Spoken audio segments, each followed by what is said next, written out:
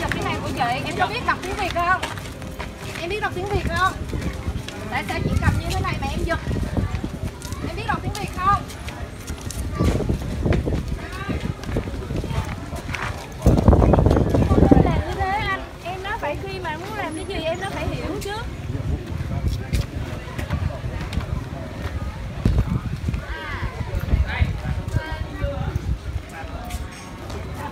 Anh ơi cái tờ giấy đó có gì sai mà anh biểu là là phải đi giật?